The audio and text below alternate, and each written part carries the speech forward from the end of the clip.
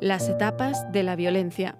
Amenazas, rotura de objetos, silencios, ironías, burlas, empujar, agarrar, abofetear, pinchar, dar patadas, arrancar el pelo, morder, aislar, controlar, escupir, fracturar, ahogar, agredir con objetos contundentes, violar, usar armas, quemar, flagelar, todos aquellos en que se produce la muerte.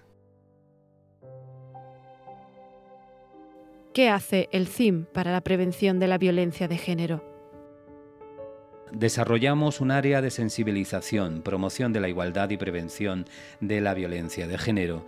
Este área, como se indica, trata de promover la igualdad en la población de San Roque, tanto con los niños y niñas desde los centros escolares como en la población adulta. Se organiza a través de iniciativas del Centro de la Mujer, talleres en los centros escolares o eventos de difusión y participación públicos, manifestaciones, carreras, teatro, acciones en la calle y también a través de dos comisiones la Comisión Municipal de Coeducación, donde está representado todos los centros escolares del municipio a través de los profesores de coeducación, cuya misión a tratar sobre la igualdad entre sexos y sobre la violencia de género.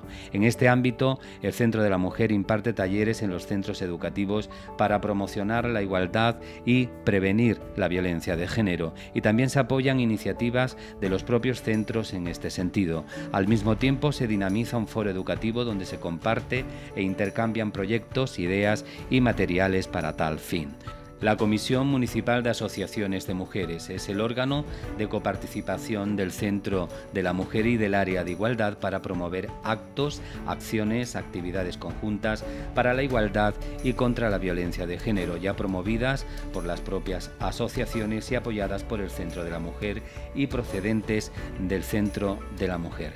Todas estas acciones están refrendadas por el primer Plan de Igualdad y Oportunidades para Mujeres y Hombres 2017-2021. Dicho plan de igualdad se aprobó por unanimidad de la Corporación Municipal en pleno ordinario del 29 de junio de 2017.